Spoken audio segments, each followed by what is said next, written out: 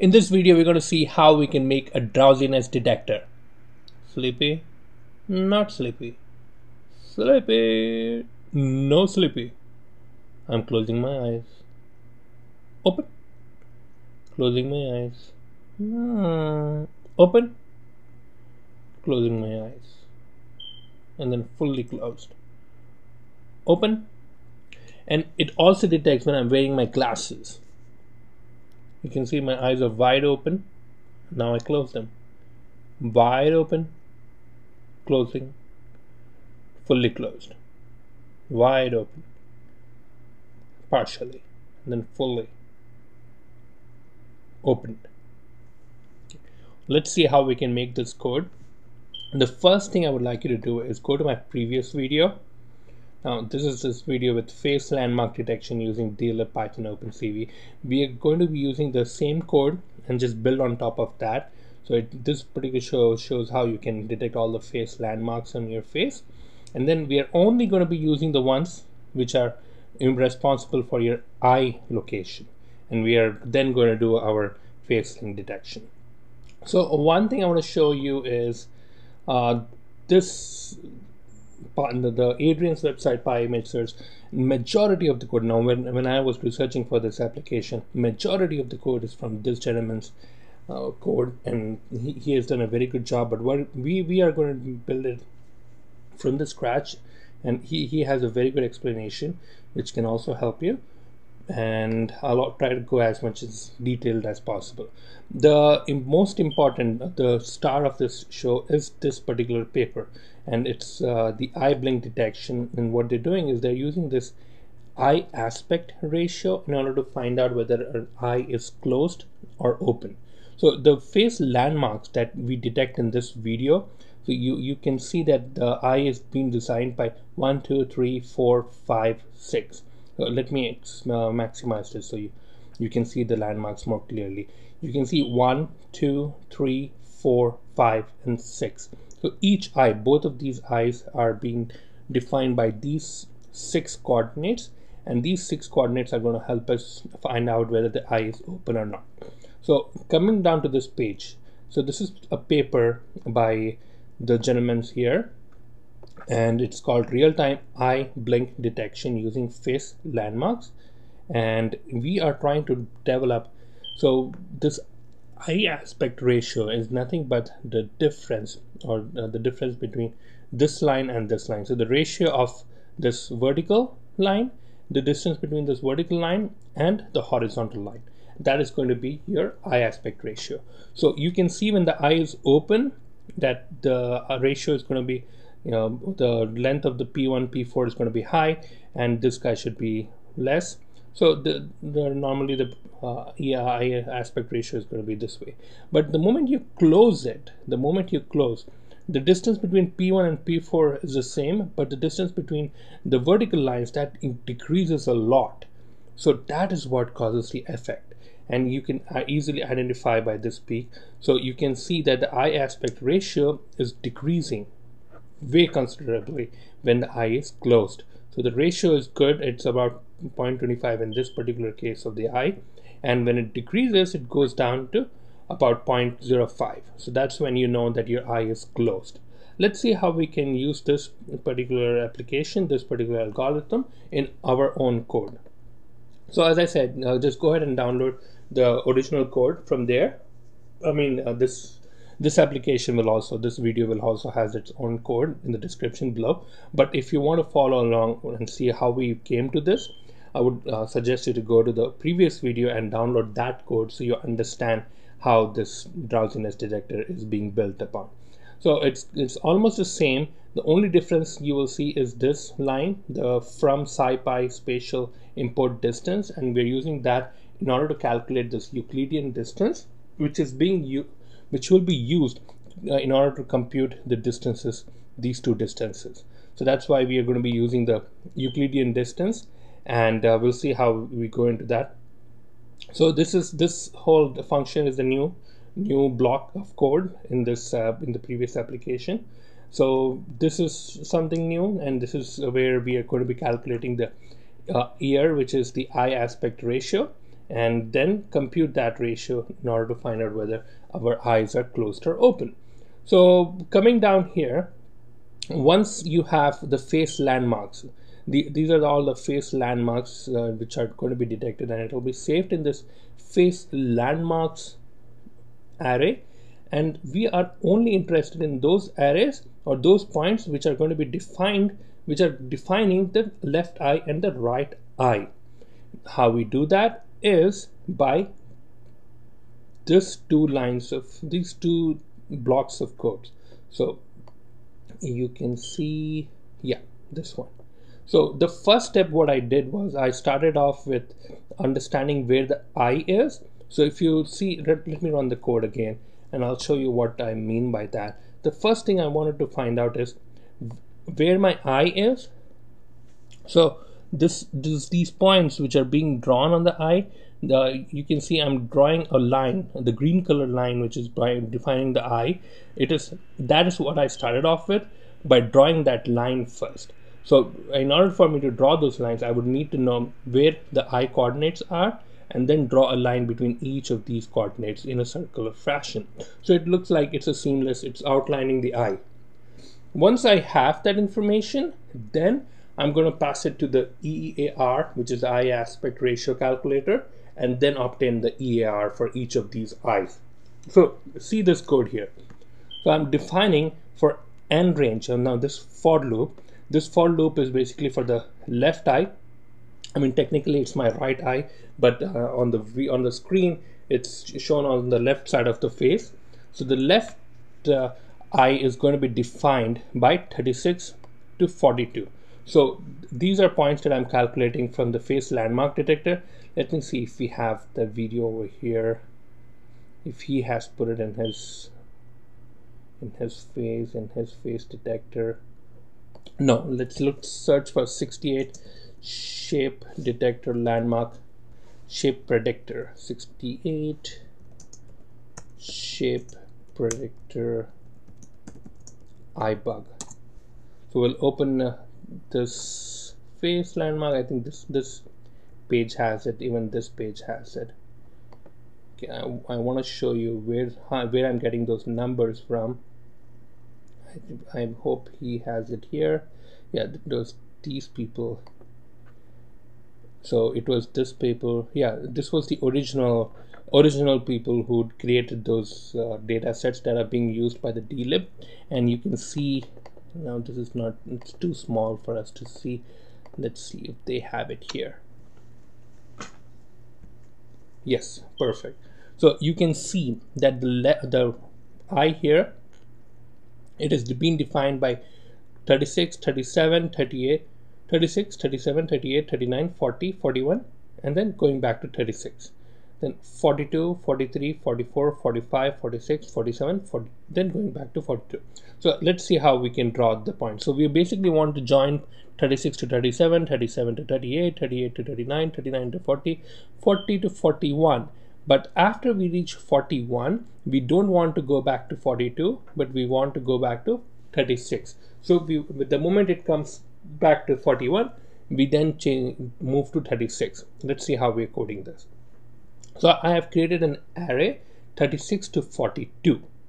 Okay, 36 to 42, 36 to 42. I'll show you for the reason I'm putting 42 is because uh, it's an uh, it's an array and it's only uh, stop at 41. It's not going to go until 42. It's uh, the upper bound of this bracket is not going to be considered. So hence we have put on 42. So first we find out the x and y coordinate of each coordinate starting off with 36 and each of these 36 coordinates uh, we find out the x and y coordinate and we are this array left eye we're going to be appending that array because we are interested in identif identifying what those coordinates represent for each look landmark location of your eye so you're appending the left eye array and then you're also defining that the next point so after 36 comes 37 so i'm just defining the next point is going to be n plus 1. However, if the next point, if the last point or the current point is 41, then the next point should be 36 because remember we don't want to go from 41 to 42 we want to go from 41 to 36 so that we can draw these lines. Otherwise it will draw a line between 41 and 42 going across your face which we don't want. So we, we want to draw from 41 to 36 and that's the reason I'm looking for n is equal to 41 the moment n is equal to 41 it's going to say that the next point is 36 instead of 42 and then draw these face landmarks. So it's going to find out the coordinate the x2 and y2 which is the uh, x2 and y2 of the next coordinate and then draw. Draw a line between xy and x2 y2 so this is the color of the line which is the green color and the thickness of the line is 1 so it's uh, just simple and we're drawing it on the same frame. So this is for drawing one eye. So in this block of for loop we're doing two things. We are drawing this line across our, the outline for our visual perception but we are also appending the left eye. So we are also creating or filling up the array of left eye in this case. I keep uh, uh I code it as a left eye but uh technically it's uh, it's going to be you know what? It's actually my left eye. Yeah. Well nevertheless um, let me not confuse you with my confusion. But uh, the we're having this array and we're appending the array with the x and y coordinate of each of those landmarks. So two things are being done. One is creating the line and next is the filling of the array. The second is the same the same thing same for loop in just in uh, in case of 36 to 41 like we did up here 36 to 41 we're going to do 42 to 48 and where we are getting those numbers from? Again going back to the shape detector 48 to 47 and we're doing it till 48 because we're having that upper bound. This upper bound 40 uh, 48 is not going to be considered but uh, 40 it the loop will start off uh, will stop at 47 so we'll do 42 to 47 basically here. And it's going to be again detecting the face x and y coordinate. We are also appending the right eye the right eye uh, array that we had initialized here. We are also going to be finding out each of the coordinates of the right eye. And and then you're also defining whether the moment it goes to 47 the next point is 42 but not 48 so hence it can finish the outline of your next the other eye once we know, then we are again drawing the eye so that we can find the whole outline. And we now know where the eyes are located. The next uh, section comes down here is calculating the EAR, the eye aspect ratio, based on this particular paper. So this paper which had shown how to detect the eyes, the blink of the eye, we're going to be using that same thing. And he, we are going to calculate the EAR of each of these eyes and this is being going back on the top this function here which is uh, calculate EAR for each eye so you're going to be first so the, you're providing you're uh, passing the array the array that you had initialized here and filled here in this loop the left eye and the right eye array. You're going to be passing that so this left eye and right eye are being now passed to this function up here. So you now know what the coordinates of each landmarks are. So we are interested in all those six coordinates. So A is the distance between the point 1 and 5, which is nothing but 0.2 and 0.6. So uh, we are finding the distance between 0.2 and 0.6 and then storing it into the variable A. Similarly, we are going to be passing the distance between 0.3 and 0.5 and then saving it in the the variable b which is here. Same thing.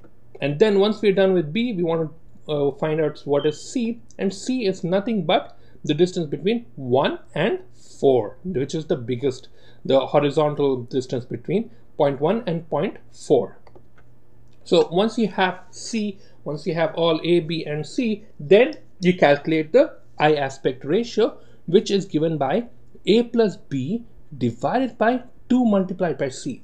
And why we are doing that?